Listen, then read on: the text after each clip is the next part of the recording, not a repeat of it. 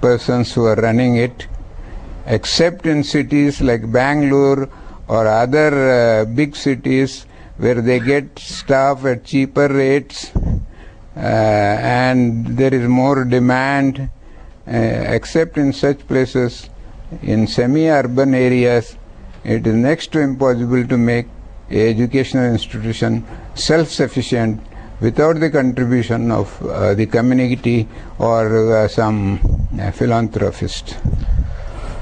To summarize what our honorary guest is saying, dear visitors, he has summarized that there are three opportunities. Foremost, number one is that if you can think of any project which you honestly believe that Anjuman is going to get benefit, such as introducing a small course, crash course, such as introducing a specific system to improve the education, such as introducing uh, a measurement to success, measurement to uh, progress of the students and and and uh, teaching system. Please do come forward, suggest and be part of it. Anjuman will welcome you as long as you personally take the responsibility and ownership to introduce the project and implement the project. Number two is saying that we need professionals. Surely, Bhatkallys.com, such a wide audience, you will have some suggestions, friends, word of mouth that you can spread and attract professionals to come and stay in Bhatkal and make living there.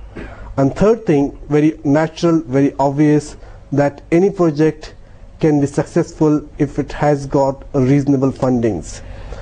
Uh, more fundings means better quality, more fundings mean more better peoples, and surely you could contribute through this. So this is his call. now I think we'll move forward from Anjuman to uh, Janab Abdurrahim Sahib's personal life. As we discussed earlier, he has been recently appointed as General Secretary of the institution, which is a very, very responsible position, actively involved in day-to-day administration. We'll try and find out from him today that what is his challenges, is he enjoying his job, if yes, how far, what can make him more happy, and what sort of support we can offer him. Please, sir. Uh, it's very difficult uh, question. That's what we call it challenge.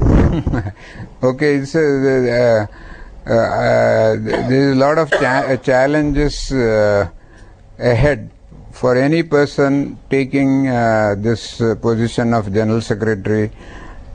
You you are uh, handling something like 8,000 students, 450 staff, and we have to uh, answer because it's a democratic institution.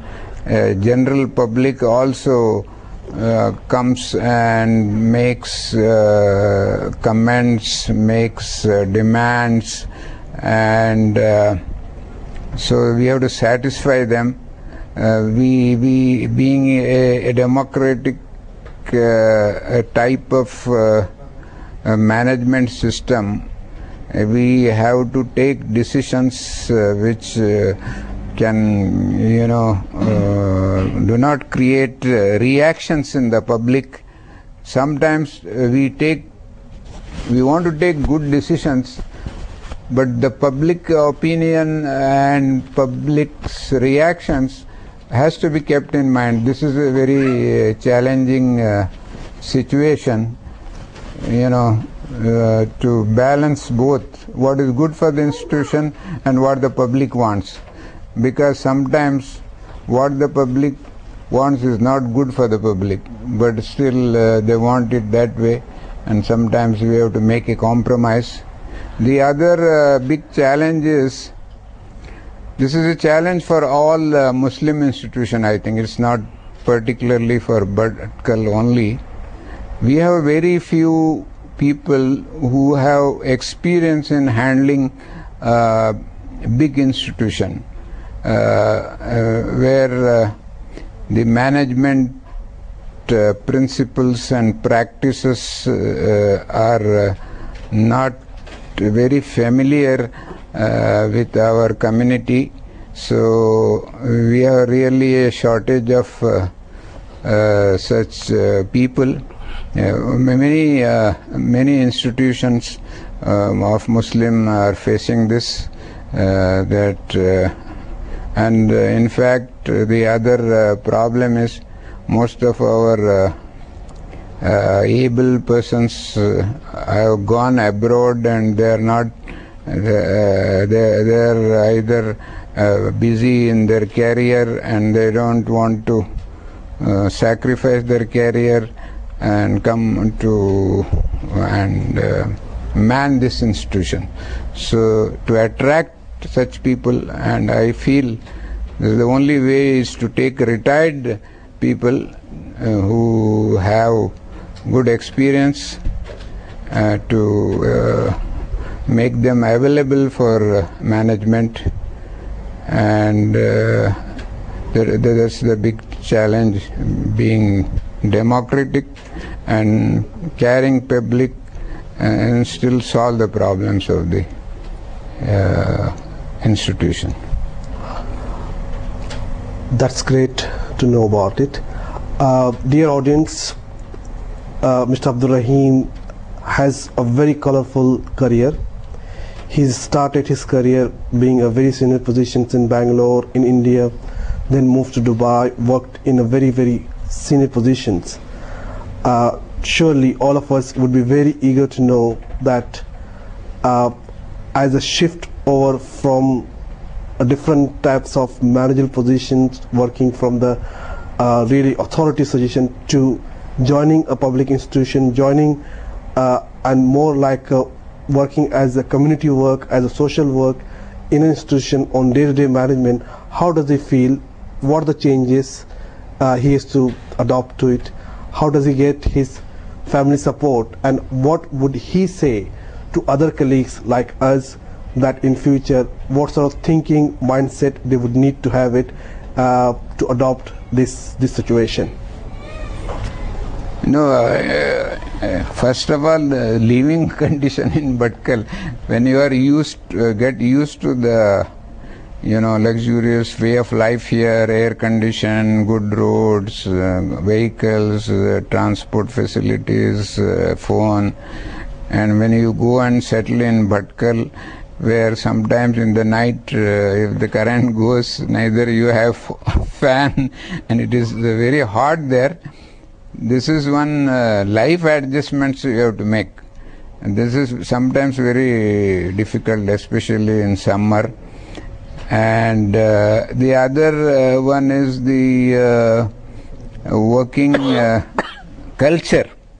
You know uh, Bhatkalis, we are very hospitable people. Dawat and uh, you know when you are invited to one marriage, first uh, you have to wait, then the sweets will come, then last tea will come. In the pro- process, two three hours are lost. So if you have to go and do duty, then uh, you know if you uh, excuse and go away, also sometimes they feel. Uh, they think this man is thinking too much of himself, you know.